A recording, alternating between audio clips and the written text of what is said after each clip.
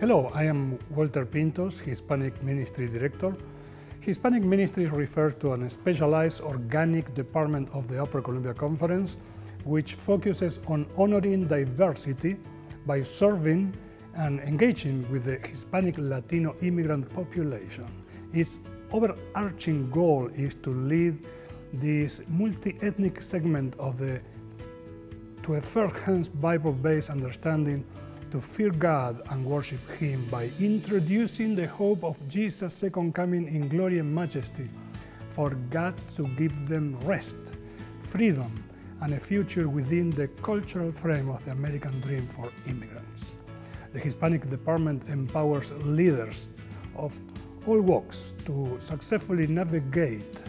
the diverse kinfolks,